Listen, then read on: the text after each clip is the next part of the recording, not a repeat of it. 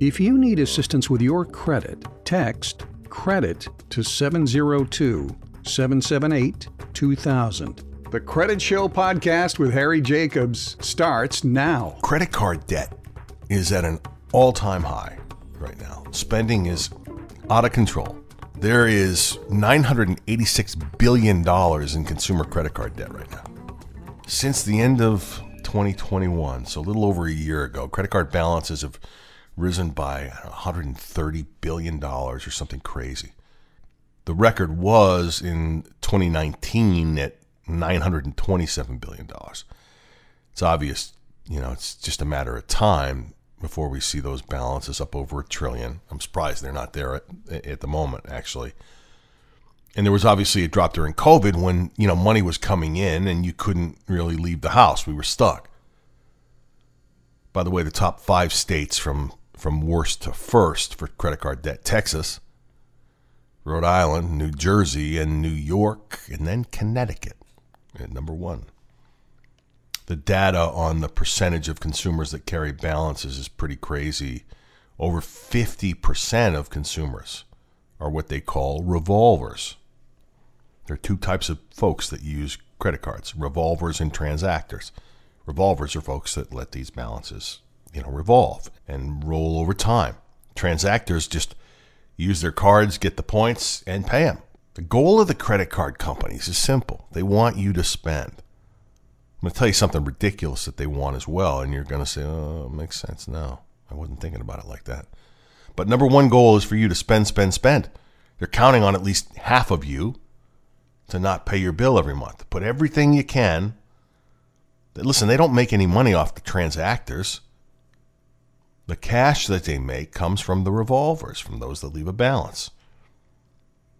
Listen, you can go into a, a credit card, a new credit card, thinking, I'm going to pay it off each month.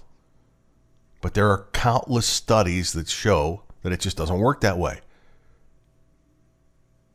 You know, it's it's credit versus debit, the delayed loss of the money that you spend, right? If you are thinking about, and I say this to people all the time, when they're building and rebuilding their credit, after bankruptcy.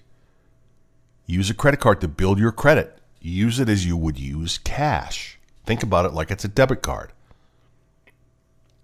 By the way, there aren't, a, you know, there are not a whole lot of sexy offers coming out from credit card companies these days. The average offer for cards, like interest rate wise, about 20%.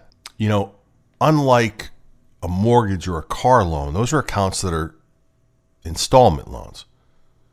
Those accounts have, uh, you know, a beginning, a middle, and an end where nothing changes payment wise. Credit cards are a door to open ended debt. There exists no standard repayment plan with a credit card. No deadlines to keep you on track other than the minimum payment. That token minimum payment each month. You're free to mail in as much or as little as you want. As long as you make that minimum payment, you're in good shape. Turns out that a lot of people do just the bare minimum. We know this. Only a quarter to a third of credit card users pay their bills in full every month. Most Americans carry a balance. And, and research shows that a surprising number of them pay close to the minimum each month, even when it's clear they could easily get out of that debt faster and save a ton of money in interest and payments and all that. And and making the minimum payment is you know it's just a tool.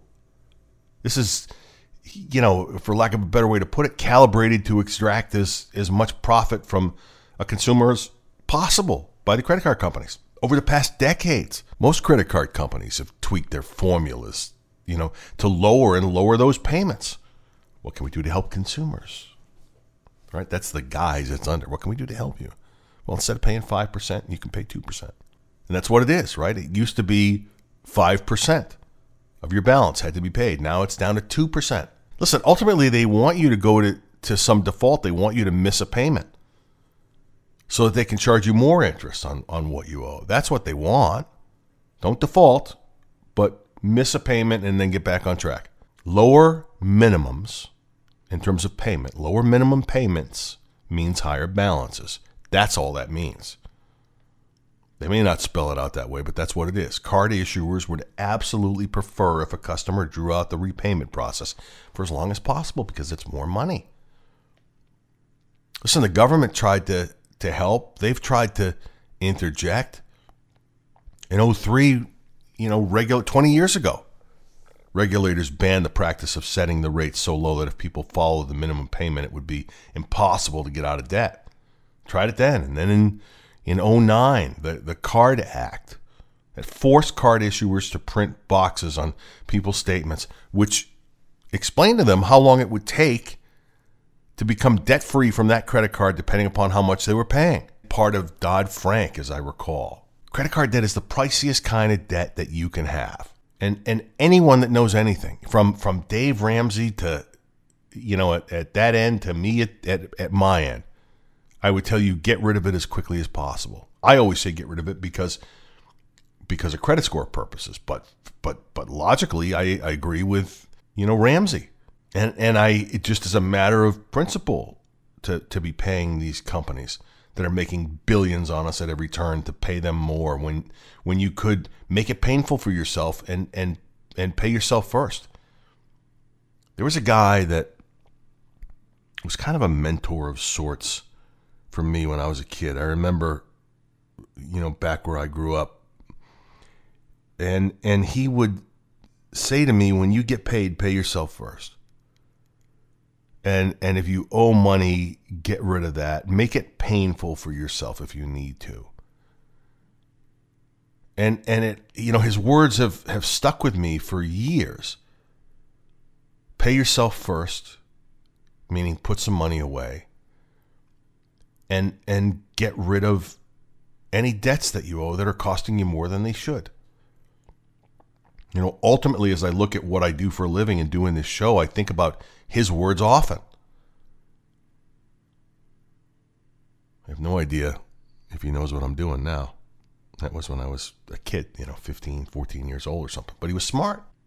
There are two intertwined explanations for what's happening with here. So some of this can be blamed on you know just financial illiteracy. And I've spoken at length on on kids and credit and, and even adults on credit. Not enough people know what the minimum payment shouldn't you know that it shouldn't be used as a rule of thumb.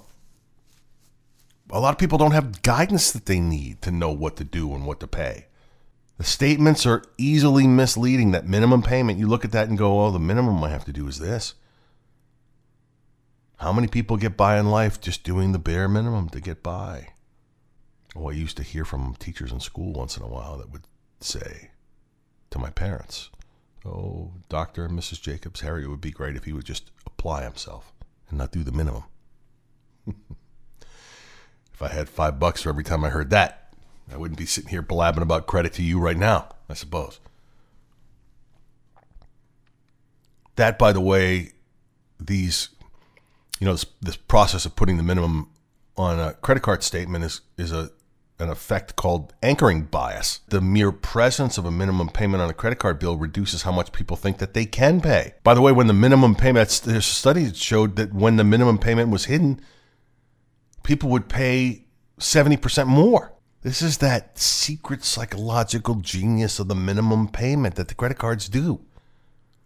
And I'm glad they were forced in 09 to, you know, as part of the Card Act to actually tell you how long it would take you to get out of debt, but it took us a long time to get there. It doesn't help things though. Look where we are, almost a trillion dollars. Pay that credit card debt. Get rid of it. Keep your balances at 10%. Keep your scores as high as they can be. It's a big part of it. You've been listening to the Credit Show podcast with Harry Jacobs. If you need assistance with your credit, text credit to 702 778 2000.